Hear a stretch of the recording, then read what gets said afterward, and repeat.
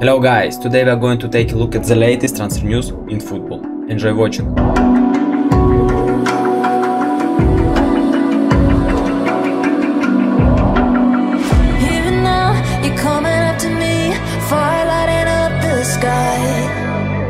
Feel the ground shaking underneath, trying to take me alive.